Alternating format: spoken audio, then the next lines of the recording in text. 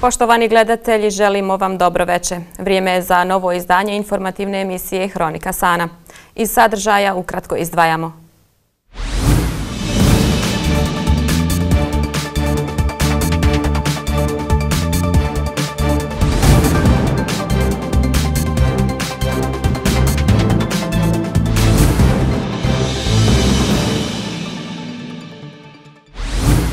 U sklopu redovne 12. skupštine Naleda koja je jučer u Beogradu održana pod pokroviteljstvom ambasade Njemačke u Srbiji, održana je i svečana dodjela BFC certifikata za općine sa povoljnim poslovnim okruženjem u jugoistočnoj Evropi.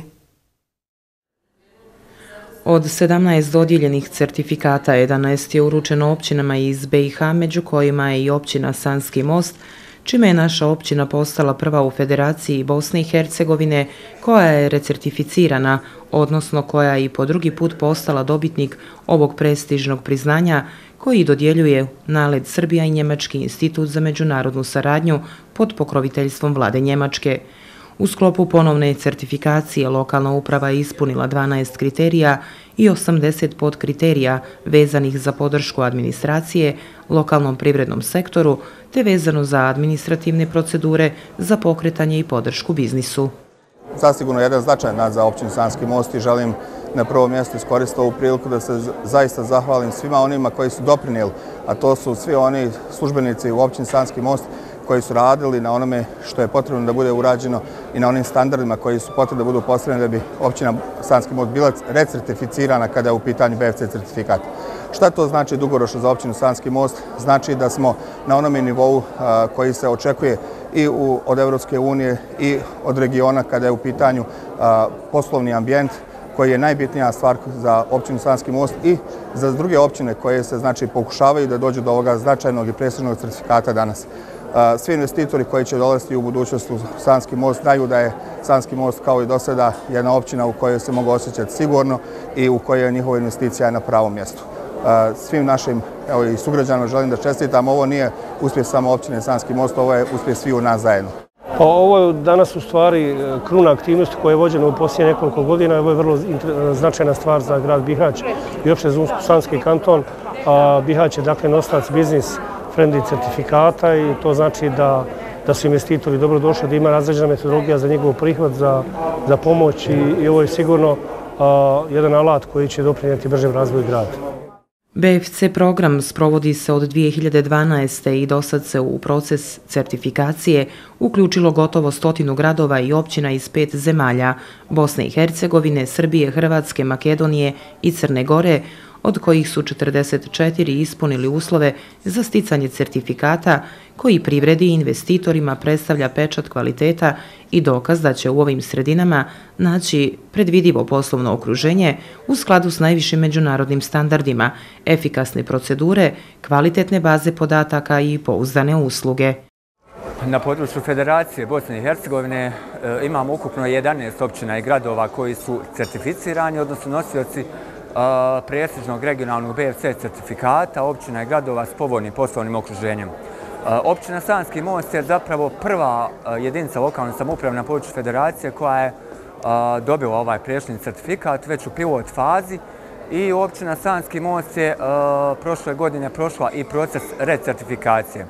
Dakle, radi se o certifikatu kroz koji se zapravo prolazi, da tako kažem, provjera efikasnosti lokalne administracije u pogledu pružanja usluga povoljni e, potencijalnim e, investitorima, ulagačima na području općine. E, prema najnovijoj ediciji standarda radi se zapravo o 10 kriterija, 67 podkriterija koji tretiraju, da tako kažem, najvažnije oblasti lokalnog ekonomskog razvoja, počevši od strategije ekonomskog razvoja, saradnje javnog i privatnog sektora, pružanja usluga u smislu obezbeđenja građevinskih i svih drugih dozvola potencijalnim investitorima, način funkcionisanja lokalne administracije u pogledu obezbeđenja sve potrebne dokumentacije, informacija i sl.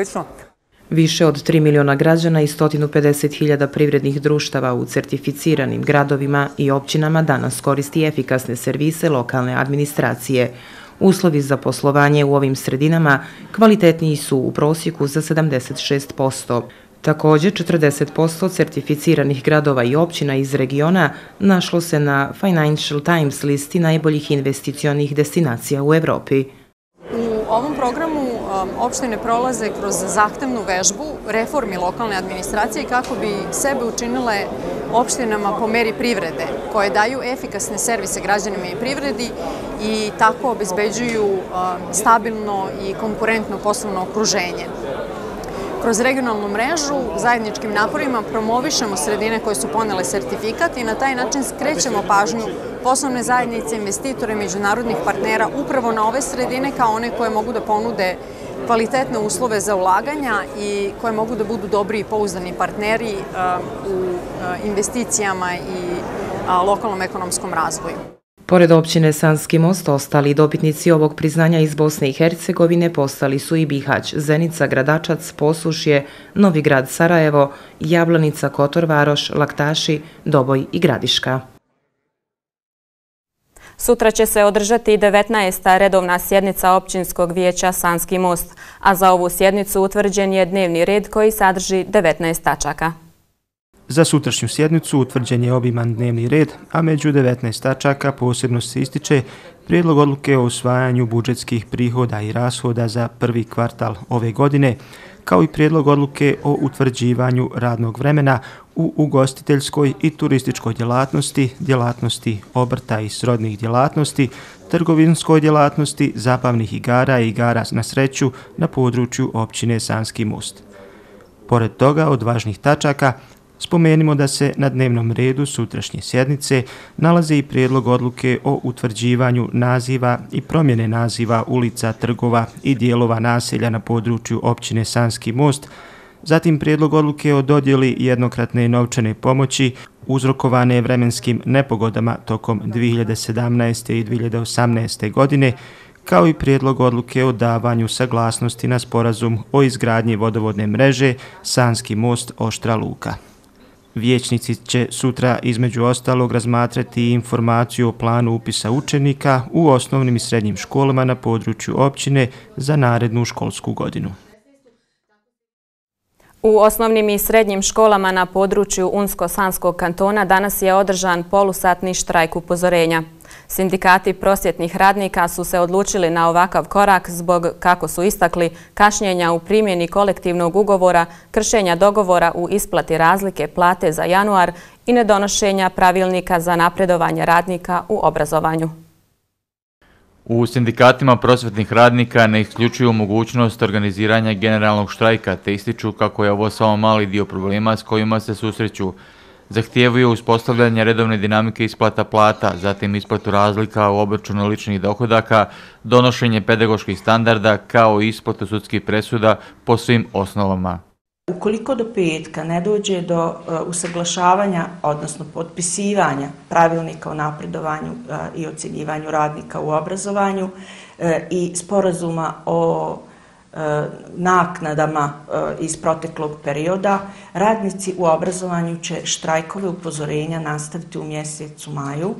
E, Donijećemo tačan konkretan datum nakon praznika i oni će biti svakodnevna svakodnevnica sve do mogućnosti kada budemo mogli stupiti, odnosno organizovati generalni štrajk. Dogovorili smo da po osnovu radnog staža u obrazovanju ljudi dobiju određene uh, Eh, kvalifikacije eh, tipa mentora, savjetnika, višeg savjetnika, znači, i naravno i određene koeficijente. Eh, ti određeni koeficijenti davali su tim ljudima povećanje plaće. E, to povećanje plaće na osnovnu plaću je iznosilo oko 50 konvertibilnih maraka za stepen. U sindikatima su istakli kako bi plate zaposlenima sa visokom stručnom spremom trebale biti povećane za 55, a onima sa višom za 183 marke primjenom novog kolektivnog ugovora. Poručili su kako ukoliko dođe do generalnog štrajka, učenici završnih razreda nijukom slučaju neće biti oštećeni. U Ministarstvu obrazovanja Unsko-Sanskog kantona smatraju kako nema razloga za organiziranje štrajka jer je većina zahtjeva sindikata prosvjetnih radnika realizirana, a za ispunjavanje nekih treba vremena. Što se tiče januara, eh, razlika plate eh, se obračunava, pošto ministarstvo nije e, moglo u ovom kratkim rokovima sve poslove završiti. Kad je u pitanju slađivanje ugovora sa kolektivnim ugovorom, ministarstvo je, smatramo, na jedan e, e, dobar i odgovoran način odgovorilo ovom zadatku, obzirom da smo imali jako puno ugovora, ministarstvo je iskontrolisalo kroz dva tima oko 4000 ugovora uposleni u obrazovanju. Kad je u pitanju pravilnik o napredovanju koji se odnosi na e, srednje obrazovanje, tu je ministarstvo krajem januara mjeseca uputilo pravilnik o napredovanju u proceduru prema e, Uredu za zakonodavstvo, Ministarstvo pravosuđa, Ministarstvo financija, zbog čega smo od strane Ministarstva financija dobili negativan stav, obzirom da nije u tom vremenu bio u svojim budžet kantona, pa smo imali e, tu određene dakle, dakle usaglašavanja po tom pitanju. Predstavnici sindikata su najavili kako će, ukoliko u narednih nekoliko dana ne budu ispunjeni njihovi zahtevi, uslijediti organiziranje svakodnevnih polusatnih štrajkova upozorenja, a nije isključen ni generalni štrajk.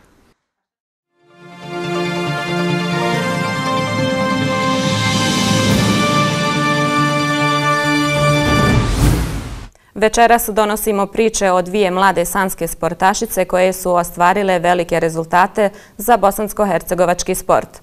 Mlada i perspektivna igračica ženskog nogometnog kluba Sana 2014, Elmina Sarajlić, dosanjala je svoj san.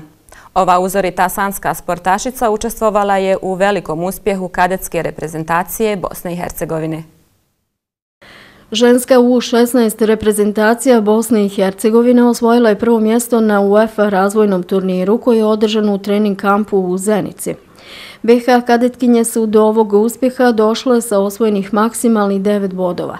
Prvo su rezultatom 2-1 pobjedile svoje vršnjakinje iz reprezentacije Hrvatske, zatim su sa 2-0 bile bolje od Makedonije, a u posljednjoj utakmici su se 2-1 slavile i protiv selekcije Azerbejdžana. U velikom uspjehu kadetske reprezentacije BiH veliki doprinos dala je i Elmina Sarajlić, talentirana nogometašica iz Sanskog mosta. Ona je igrala u svim utakmicama i poziv da obuče državni dres opravdala je odličnim nastupom. Elmina je tako dosanjala svoj san jer njena velika želja je bila da zaigra za našu najbolju selekciju, a usto je sa svojim saigračicama došla i do velikog uspjeha. Atmosfera je bila odlična, cure smo dobro prihvatile. Znam se već odavno i onda je to bilo to. Onda igrali smo, imali smo tri utakmice gdje sam odigrala, učestvovala sam u sve tri utakmice. Najteže je bilo protiv Azerbejdžana gdje smo igrali zadnju utakmicu za prvo mjesto. E, pobjedili smo Hrvatsku 2-1 Um, i igrali smo onda drugu protiv Makedonije. Svoj maksimum sam dala u drugoj utakmici protiv Makedonije i tu sam baš utakmicu dobro odigrala. Elmina nogomet trenira već četiri godine, igra na poziciji bočnog igrača. Uspjehom sa reprezentacijom BiH ona je još jednom dokazala da se naporan rad i trud po pravilu isplati. Nakon reprezentativnih ona se sada okreće klubskim obavezama u ženskom nogometnom klubu Sana 2014. Cilj je osvajanje prvog mjesta u drugoligaškom prvenstvu i plasman u viši rang takmičenja. Sanskoj zmajici čestitamo na uspjehu sa željom da u budućnosti nosi dres i starih BH reprezentativnih selekcija. Perspektivna sanska kickbokserica Lajla Mulalić postala je svjetska klubska prvakinja. Do ovog velikog rezultata došla je na velikom takmičenju u Austriji. Mlada sanska sportašica Lajla Mulalić ostvarila je veliki rezultat u svojoj već bogatoj karijeri, a državi Bosni i Hercegovini donijela zlatnu medalju sa velikog sportskog događaja. Ona je osvojila pojas i zlatnu medalju na svjetskom kupu Austrian Classics 2018 koji je održan od 20. do 22. aprila ove godine u austrijskom gradu Innsbrucku. Na ovom izuzetno jakom takmičenju nastupilo je čak 220 klubova sa 2200 takmičara iz 35 država. Lajla Mulalić je prvo mjesto osvojila u disciplini Point Fight kategorija minus 46 kg. U polufinalnoj borbi pobjedila je predstavnicu Austrije sudijskom odlukom 11-9, dok je u finalu rezultatom 12-7 pobjedila predstavnicu Mađarske koja je prošle godine bila svjetska prvakinja. Lajla je velike nagrade, pojas i zlatnu medalju donijela u svoj sanski most. Za mene je ovo takmičenje bilo jedno veliko iskustvo. E, s obzirom da treniram tri mjeseca, bila sam iznenađena da mi trener vodi već na tako takmičenje. E, u Austriji sam imala e, tri protivnice, ali sam radila dvije barbe. Prva je bila protiv predstavnice iz Austrije. Nju sam pobjedila 11-9. Lakše mi je bilo s njom raditi nego s ovom iz finala. E, e, u finalima je bila predstavnica iz Mađarske, ona je prošle godine osvojila ovaj svjetski kup. E, nju sam pobjedila 12-9. Bila sam veoma uzbuđena i svi iz kluba su bili ponosni na mene, navijali su. Lajla je članica kluba borilačkih sportova Sana i u ovom klubu je prije 8 godina počela trenirati karate. U ovom sportu iza sebe ima odlične rezultate i veliki broj osvojenih medalja. Ona prije tri mjeseca počinje trenirati kickboks i za veoma kratko vrijeme reda uspjehe i osvoja vrhunske rezultate. Treba istaći da njen matični klub zbog nedostatka financija nije registrovan za ovaj sport, ali je Lajlin talent uočio Sena Ćatić, trener kluba borilačkih sportova Zino iz Bihaća i ona počinje nastupati za Bihaćki klub. Na svom prvom takmičenju u kickboksu osvoja dvije zlatne medalje na turniru Vako Grand Prix u Sarajevu, zatim na državnom prvenstvu u Fojnici osvoja bronzanu medalju, na pobjedničko postolje penje se na Balkanskom kupu u Tešnju gdje se okitila sa dvije srebrne medalje, te na internacionalnom kupu u Bihaću osvoja zlatu i bronzu. Trener Ćatić bio je oduševljen Lajlinim nastupima, vjerovao je u njen kvalitet i sa svojim takmičarima vodi je u Austriju gdje se mlada sanska sportašica okitila titulom svjetske klubske prvakinje. Pa, imala sam dobru podlogu jer sam trenirala karate e, i e, od uvijek me već i kickboks zanimao. E, i pratila sam rad kluba Zino, e, odlazila na neka bliža takmičenja, pratila njihove borbe, čula sam mnogo o njima, o njihovom uspjehu i to. Trener Sena Ćatić se ponudio i već na prvom treningu je prepoznao da mogu to i eto tako krenula sam trenirati. Nakon mjesec dana sam odmah imala internacionalno takmičenje u Sarajevu gdje sam radila dvije kategorije, svoje dva prva mjesta. Planiram se baviti ovim e, i okušat se u tvrdim disciplinama, to jest disciplinama u ringu.